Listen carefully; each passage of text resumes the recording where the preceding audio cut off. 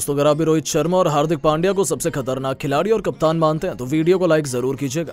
दोस्तों, अरुण जेटली के मैदान पर शर्मनाक हार मिलने के बाद भी मुंबई इंडियंस के फैंस ने दिखाया अपना असली रूप। हार्दिक पांड्या को बू बू कर गालियाँ देते हुए न केवल उनके साथ बदतमीजी की, बल्कि अरुण जेटली स्टेडियम से बाहर उनके साथ ऐसी दर्दनाक घटना को अंजाम दिया, जिसे सुनकर आपका भी दिल दहल जाएगा। तो आखिर क्यों मुंबई के फैंस ने कर दी हार्दिक की जमकर कुटाई? क्यों घटिया हरकतों पर उतर आए मुंबई के फैंस? ऐसी कौन सी घटिया हरकत करी उन्होंने हार्दिक पांड्या के साथ, जिसने पूरे क्रिकेट जगत में बवाल मचा दिया। उससे शर्मसार कर देने वाली घटना का पूरा वीडियो तो हम आपको ज़रूर दिखाएँगे, लेकिन उससे पहले आपको क्या लगता है? हार्दिक पांड्या और रोहित शर्मा में कौन है बेहतर कप्तान, नीचे कमेंट करके ज़रूर बताएँ।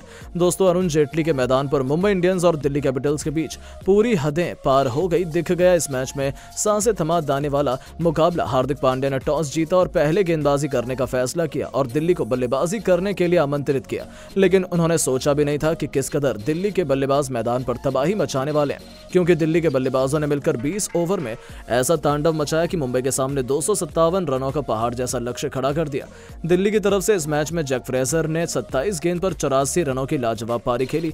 वहीं अंत में शाही होप ने भी 17 गेंद पर इकतालीस रन बनाए। ऋषभ पंत ने भी 19 गेंद पर उनतीस रन बनाकर अपनी टीम को यहाँ तक पहुँचाया। मुंबई के लिए यह लक्ष्य हासिल कर पाना इतना आसान नहीं होने वाला था। और ठीक वही हुआ, पैंसठ रनों के स्कोर पर मुंबई का टॉप ऑर्डर बिखर चुका था। हार्दिक पांड्या भी छियालीस रन बनाकर पवेलियन जा चुके थे। मैदान पर तिलक वर्मा और टिम डेविड खेल रहे थे। इस खिलाड़ी से हर किसी को उम्मीद थी, लेकिन डेविड भी सैंतीस रन बनाकर पवेलियन लौट गए। लेकिन तिलक वर्मा अकेले दिल्ली के गेंदबाजों की बेरहमी से कुटाई करते हुए मैच को पलटने की पूरी कोशिश कर रहे थे।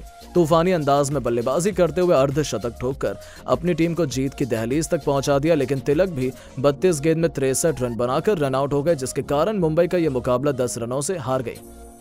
मुंबई की हार देखकर पूरा स्टेडियम निराश हो गया।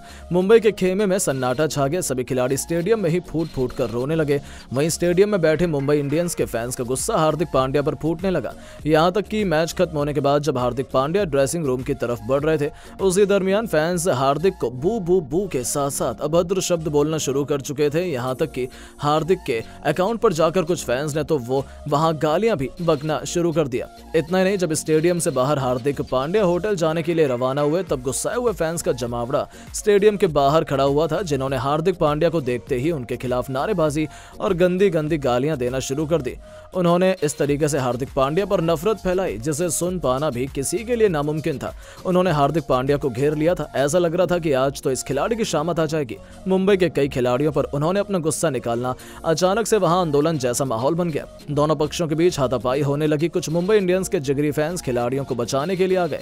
हालाँकि सलाम पुलिस बल और सिक्योरिटी को, जिन्होंने हालात पर काबू किया, भीड़ को वहाँ से अलग किया और मुंबई इंडियंस के खिलाड़ियों को खासतौर पर हार्दिक पांड्या को सुरक्षित वहाँ से निकाला, नहीं तो आज तो बड़ी अनहोनी हो जाती, लेकिन जिस तरह मुंबई इंडियंस के फैंस बदतमीजी करने पर आए, नफरत फैलाई, उन्होंने भारत की छवि को बदनाम किया और बता दिया कि हार्दिक पांड्या को बिल्कुल भी कप्तानी के रूप में पसंद नहीं करते लेकिन दोस्तों, अब आपको क्या लगता है? रोहित शर्मा और हार्दिक पांड्या में कौन है बेहतर खिलाड़ी और कप्तान, अपनी राय नीचे कमेंट बॉक्स में ज़रूर बताएँ। तो मुंबई के खिलाफ दिल्ली की शानदार जीत के बाद खुशी से झूम उठे कप्तान ऋषभ पंत। मुंबई की टीम का मज़ाक उड़ाते हुए दे दिया हैरान कर देने वाला बयान। जी हाँ दोस्तों, मुंबई और दिल्ली के बीच खेले गए रोमांचक मैच में दिल्ली की टीम को जीत मिली है, जिसके बाद दिल्ली की टीम के कप्तान ऋषभ पंत का बयान सामने आया। इस बीच कप्तान ऋषभ पंत ने मुंबई की टीम का मज़ाक उड़ाते हुए एक ऐसा बयान दिया, जिसको सुनकर आपके रोंगटे खड़े हो जाएँगे। तो आखिरकार दिल्ली की जीत के बाद कप्तान ऋषभ पंत ने क्या कहा, ये तो हम आपको बताएँगे ही तो वीडियो को एंड तक ज़रूर देखिएगा। लेकिन उससे पहले आपको क्या लगता है, ऋषभ पंत, रोहित शर्मा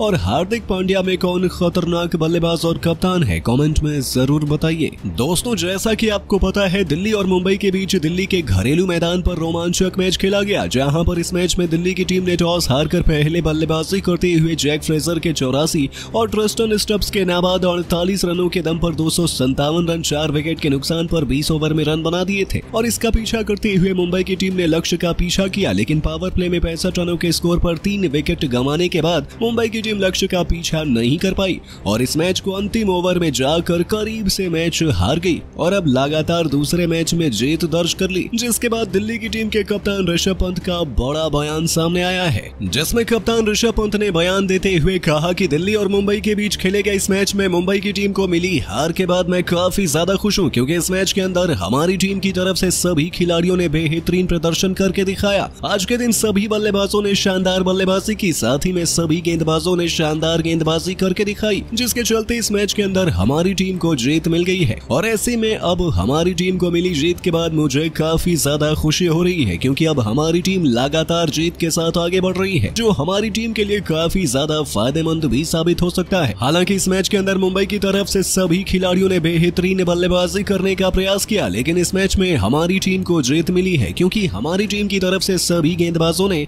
शानदार गेंदबाजी करके दिल्ली की टीम को जीत दिलाई। इसके अलावा उन्होंने कहा कि दिल्ली की टीम की तरफ़ से इस मैच के अंदर जिस तरीके से रसिक सलाम ने शानदार गेंदबाजी करके दिखाई, उसको देखकर आज मैं काफ़ी ज़्यादा प्रभावित हूँ। हालाँकि हमारी टीम की तरफ़ से दिल्ली के सभी गेंदबाज और बल्लेबाज अच्छा प्रदर्शन करते दिखाई दिए थे, जिसके चलते हमारी टीम मैच को जीत गई, लेकिन मुंबई की टीम की तरफ़ से रोहित शर्मा, सूर्य कुमार यादव और हार्दिक पांड्या का अच्छा प्रदर्शन देखने को नहीं मिला। अगर ये तीनों खिलाड़ी अच्छी बल्लेबाजी करते तो इस मैच के अंदर दिल्ली की टीम को जीत नहीं मिलती, क्योंकि मुंबई की टीम आईपीएल की एक ऐसी टीम है, जिसके पास सबसे खतरनाक बल्लेबाज मौजूद हैं, और ऐसे में इस टीम को जीत दर्ज करने का मौका मिल सकता था। लेकिन आज मुंबई की टीम को बुरी तरीके से हराकर हमने पिछले मैच का बदला ले लिया, और बता दिया कि हमारी टीम को कमज़ोर समझने की गलती बिल्कुल ना करें। तो दोस्तों, आपको क्या लगता है, इस मैच में दिल्ली की टीम की जीत की असली वजह क्या रही? कॉमेंट में ज़रूर बताइए। दोस्तों, जैसा कि आपको पता है, दिल्ली और मुंबई के बीच दिल्ली के घरेलू मैदान पर रोमांचक मैच खेला गया, जिसमें दिल्ली की टीम को जीत मिल गई है।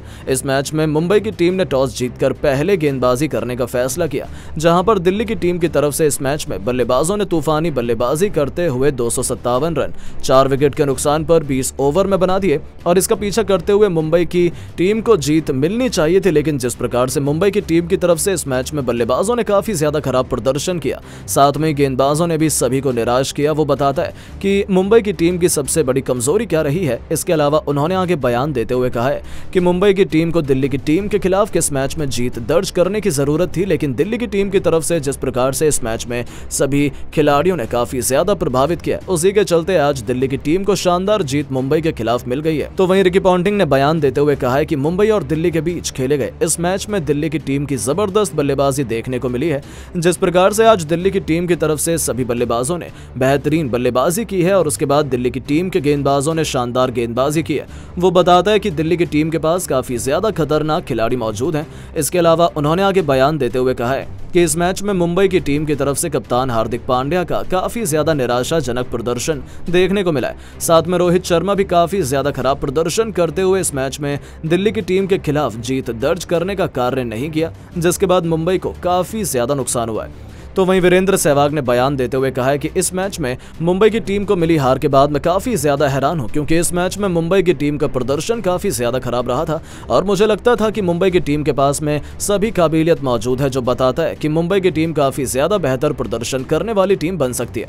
लेकिन आज मुंबई की टीम का प्रदर्शन काफ़ी ज़्यादा खराब रहा है। इसके अलावा उन्होंने आगे बयान देते हुए कहा है कि इस मैच में रोहित शर्मा ने तो काफ़ी ज़्यादा खराब बल्लेबाजी की है, साथ में हार्दिक पांड्या ने काफ़ी ज़्यादा खराब बल्लेबाजी, गेंदबाजी और कप्तानी करके दिखाई है, जिसके चलते दिल्ली की टीम को मुंबई के खिलाफ जीत दर्ज करने का मौका मिला है। तो वहीं शोएब अख्तर ने बयान देते हुए कहा है कि मुंबई और दिल्ली के बीच खेले गए इस मैच में दिल्ली की टीम को मिली जीत के बाद मैं काफ़ी ज़्यादा खुश हूँ, क्योंकि इस मैच के अंदर दिल्ली की टीम के सभी गेंदबाज और बल्लेबाज बेहतर प्रदर्शन करते हुए दिखाई दिए हैं। हालाँकि मुंबई की टीम के पास काफ़ी ज़्यादा खतरनाक बल्लेबाज मौजूद हैं, लेकिन जिस प्रकार से मुंबई की टीम की तरफ़ से रोहित शर्मा, हार्दिक पांड्या और सूर्य कुमार यादव जैसे बड़े खिलाड़ी मौजूद हैं, लेकिन किसी ने भी ज़िम्मेदारी के साथ बल्लेबाजी नहीं की है, जिसके चलते मुंबई की टीम को इस मैच के अंदर जीत नहीं मिली है। मुझे ऐसा लगता है कि मुंबई की टीम को अगर इस मैच के अंदर जीत नहीं मिली है तो उसके पीछे मुंबई की टीम के खराब बल्लेबाजी आज बड़ा कारण रही है। तो दोस्तों, आपको क्या लगता है, इस मैच में हार का मुख्य कारण क्या रहा है? अपनी राय नीचे कमेंट बॉक्स में ज़रूर दें। दोस्तों, अरुण जेटली के मैदान पर दिल्ली कैपिटल और मुंबई इंडियंस की टीम आमने सामने थी। सिक्का उछाला गया तो हार्दिक पांड्या के पक्ष में गिरा और पांड्या ने पहले गेंदबाजी का फैसला लेते हुए दिल्ली कैपिटल्स को बल्लेबाजी करने के लिए आमंत्रित किया। दिल्ली की तरफ़ से ओपनिंग की शुरुआत करने मैदान पर जैक फ्रीजर के साथ अभिषेक पुरेल आए। वहीं मुंबई की तरफ़ से पहला ओवर लेकर आए लुकवुड। लुकवुड का स्वागत पहली गेंद पर फ्रीजर ने खतरनाक अंदाज में चौका लगाकर किया। वहीं दूसरी गेंद को चौके में तब्दील किया और तीसरी गेंद को छक्के के बाद भी जैक फ्रीजर रुकने का नाम नहीं लिया पांचवी गेंद को भी उन्होंने चौके में तब्दील कर दिया। दिल्ली का स्कोर पहले ही ओवर में उन्नीस रनों तक पहुँच गया।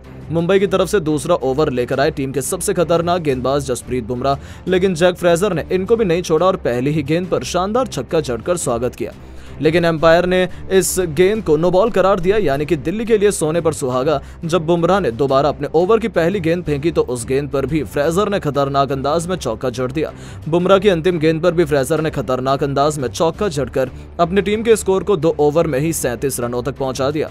तीसरा ओवर फेंकने के लिए आए मुंबई की तरफ़ से नुआन थुसारा, लेकिन इस बार इनका स्वागत अभिषेक पौरल ने पहली गेंद पर शानदार चौका लगाकर किया और अपनी टीम के स्कोर को तेज़ी से आगे बढ़ाया। इसके बाद जैक फ्रेजर ने भी तेज़ी तीसरी गेंद को चौके में तब्दील कर दिया तुसारा की चौथी गेंद को भी उन्होंने चौके में तब्दील किया। दो दशमलव चार ओवर में ही दिल्ली का स्कोर इक्यावन रनों तक पहुँच गया और इन दोनों खिलाड़ियों के बीच अर्धशतकीय साझेदारी भी पूरी हो गई। पांचवी गेंद पर भी फ्रेजर ने शानदार चौका जड़ा। दिल्ली का स्कोर रॉकेट की रफ्तार की तरह आगे बढ़ चुका था।